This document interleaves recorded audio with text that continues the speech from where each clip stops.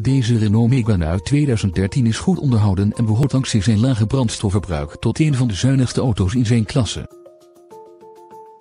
De Renault is uitgerust met een sportonderstel en met verschillende veiligheidsopties, zoals parkeersensoren, xenon koplampen, ABS, ESP en gordijnairbags. De dieselmotor heeft een handgeschakelde overbrenging met zes versnellingen en een milieuvriendelijk stop-and-go systeem.